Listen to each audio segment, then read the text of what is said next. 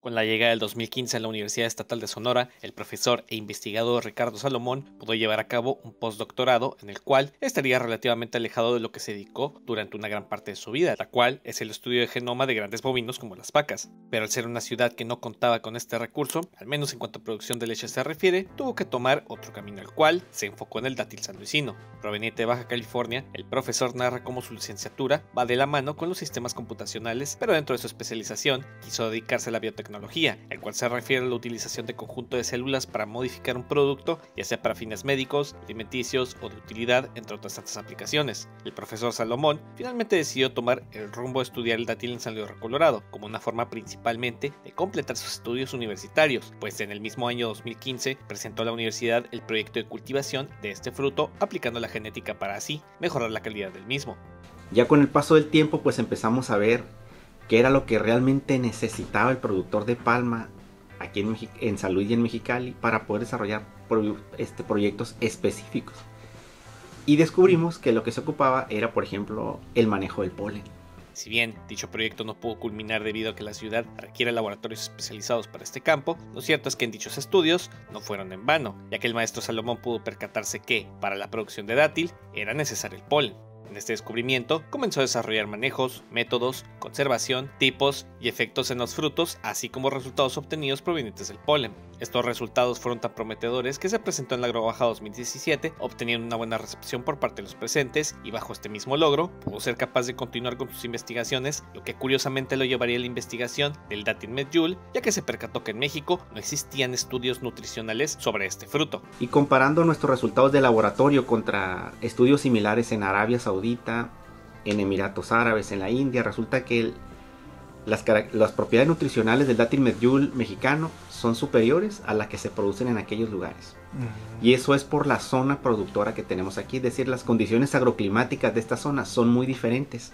Por ejemplo, el caso de Jordania, Palestina e Israel, ellos están 400 metros bajo el nivel del mar.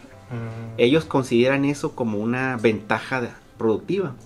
El dátil de ellos es más oscuro, el dátil medjool es más oscuro y tiene un sabor diferente al de nosotros.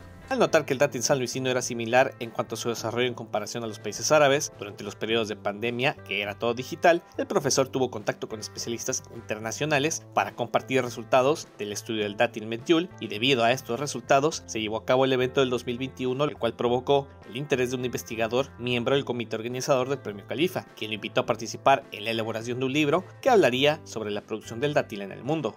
La invitación se dirigió hacia el profesor Salomón, ya que se buscaba involucrar a países con mayor desarrollo de dátil en el mundo. México, al contar con el tercer lugar actual, debía ser parte de este proyecto. Cuando se terminó ese, libro, me invitaron ellos a un congreso internacional de palma datilera en Abu Dhabi.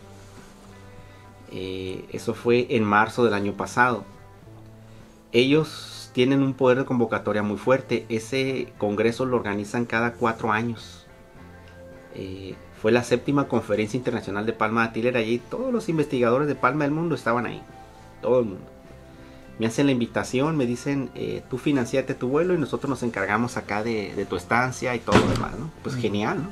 En 2022, dicho libro sería publicado en inglés, mientras que en el 2023, en el segundo festival del Premio Califa llevado a cabo en San Luis Colorado, se presentó en español, lo que le valió el reconocimiento de los investigadores, tanto los involucrados en los premios Califa, ganando así un premio por su aportación a este fruto. Y si bien el maestro Salomón tiene grandes logros en su carrera como docente investigador, finalmente se siente contento de poder ser parte de la evolución de dicho fruto en representación de México, por lo que se siente agradecido con todas las personas que le han apoyado desde el inicio hasta el final y espera poder continuar con sus investigaciones para mejorar la calidad del dátil medjool en la región.